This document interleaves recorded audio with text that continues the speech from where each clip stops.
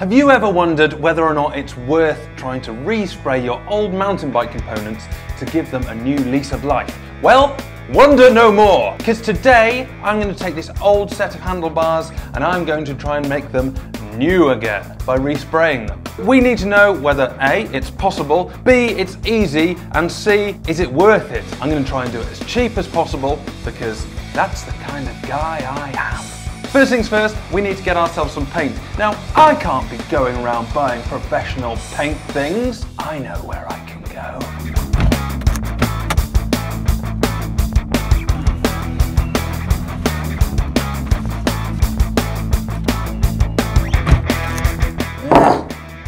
Got it. What have I bought? I've bought some masking tape. This was 56p or something.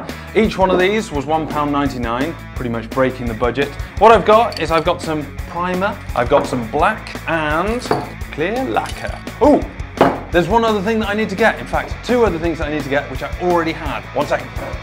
Right, right, right, right, right, right. The other things that I've got is I've got some sandpaper. This is 240 grit. I've also got this, metallic gold, because what says new bike more than gold?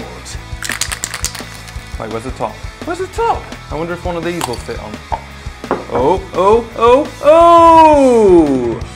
Ha ha ha! Never having the right tool hasn't stopped me in the past, and it won't stop me today. Nice try, gold paint. Let's get sanding. Out of the way, paint. I'm assuming all I need to do is start sanding. Oh, it's coming off! Ordinarily, I would not be doing this on the dining room table. However, my girlfriend is away and it's raining outside, so.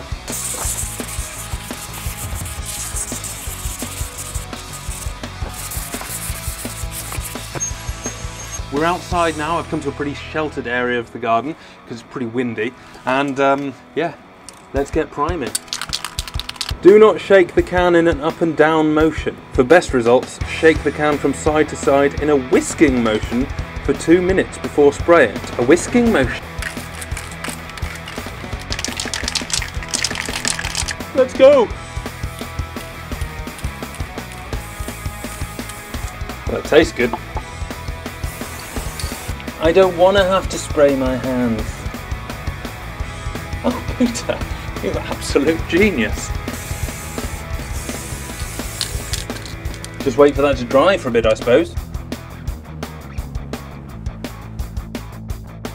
Now what I'm going to do is I'm going to start cutting out some stencils so that I can put some gold paint in various places on the bar. The idea is take a bit of masking tape, draw my design on it, then cut it out with one of these, then take another piece of masking tape, put it over the top of it so it keeps it all together, apply that to the handlebars, then take the top piece of tape off, and then I should be able to spray through it, or at least that is the idea. Let's see whether it works. Come in closer.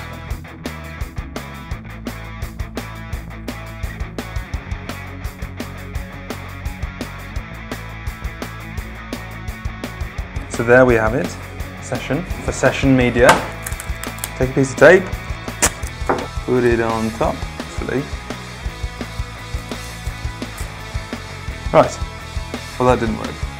It's not exactly what I wanted because basically quite a lot of it stuck down to the table still. And I may have to redo this. That didn't work as well as I'd hoped. You know what? I'm just going to do it again. Right, so, I don't know if you can see that, maybe. And that is what it should look like, but in gold. Glorious, glorious gold. So I'm going to put that there. Now it's time to sand down the primed handlebars and start applying some black. I've come outside because I didn't want to get the table dirty again. Also, almost 100% sure that this isn't dry.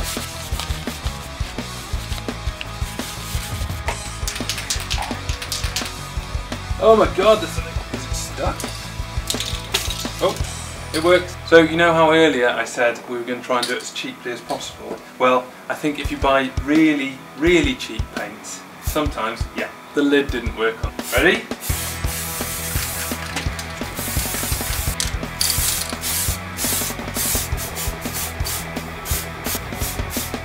This is probably how professionals do it. Just sacrifice one finger.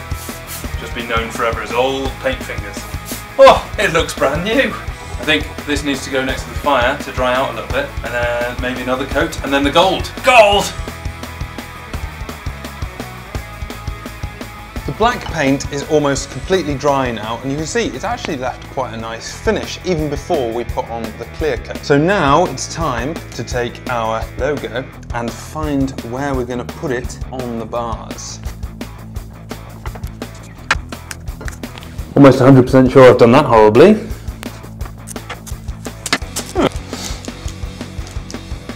Not bad. You know what, I actually think that looks pretty cool. So what I need to do now is mask off the areas that I want to stay black with some more tape.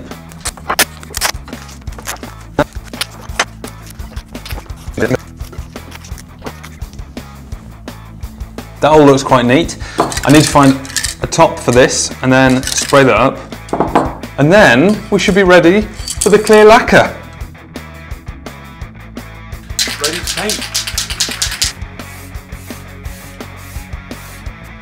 Right, it's the next day and the paint should have fully dried, at least I hope so. What I did was I cleverly made this thing to hold these things while they dried. All it is is a piece of wood with another bit of wood sort of smacked into it.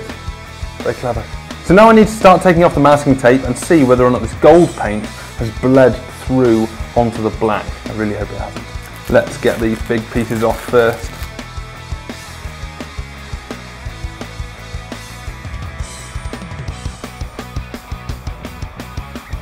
We've got most of the masking tape off. What I'm going to do is I've got some hot water here and I'm just going to try and start cleaning this with, well, it's a sock because I couldn't find any other rags. I'm going to start just on one end because then if I just rub off one letter, it won't be so bad. I'm going to start on the exclamation mark because if I lose the exclamation mark, it still says send it, whereas if I lose the S, it says end it. It's quite a different message and it's not necessarily one I want to endorse. Maybe I need soapy water. Let's go soapy water. Let's add a smidge of this. Just give it a quick mix. Oh, it's working a treat. Either that or it's just shiny because it's wet. What is this tape made out of? Maybe a sock wasn't the best thing to use.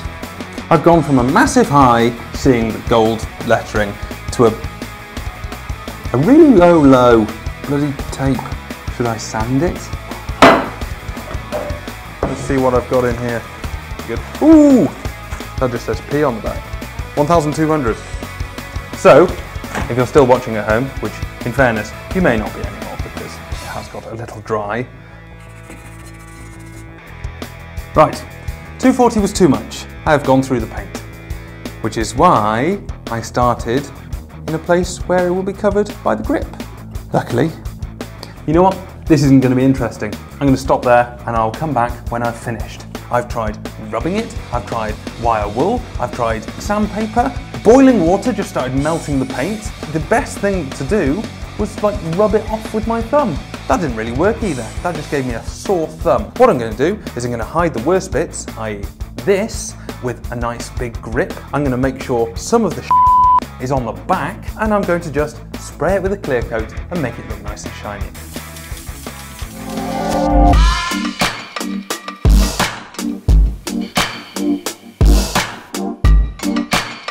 Here it is, the finished handlebars. As you can see, I have cleverly hidden all the worst parts with these signature Greg Minnaar grips. I actually think it doesn't look too bad. I have to admit, there are some elements of it which I'm disappointed with. For example, here you can see where I got a bit overzealous with my sanding or maybe a bit impatient with letting things dry, but generally it looks good. If I'm honest, the best place to view this from is from a distance. However, the questions I wanted to answer as part of this project were, is it possible? Is it easy? And is it worth doing? Possible, yes. Easy, no. But then that might just be because I'm incredibly impatient and didn't really know what I was doing. I think if I was to do this again, I would sand it more thoroughly. I would definitely definitely wait for the paint to dry in between each go. I think I get a bit better at applying the sort of sticker element to it, and I don't think I'd use masking tape all over it. I'd just put a little bit around there and then just cover the rest in paper. The big question though was, is it worth it? To be honest, yes, I think it is. I think if you've got some old handlebars, old cranks, anything really where you think there's nothing wrong with it physically, but it could do with a bit of sprucing up, go for it. Paint it. It cost me about £6.50 to do this. If I was to buy a new set of handlebars, I'd probably be looking at about sort of 60, 70 pounds. And also, they're custom. How much do people pay for custom bike parts? It's ridiculous. I can't wait to get it on my bike now. If you've enjoyed this video and you'd like to see more, make sure you hit the subscribe button. If you want to see anything specific, then make sure to put it in the comments below. Um, at some point in the future, I'm going to compare my painting to the professional paint job, which is being done on my bike at the moment, which should be quite cool. Um, in the meantime, why don't you go and watch one of my other biking videos up here? And um, yeah, until next time, see you soon.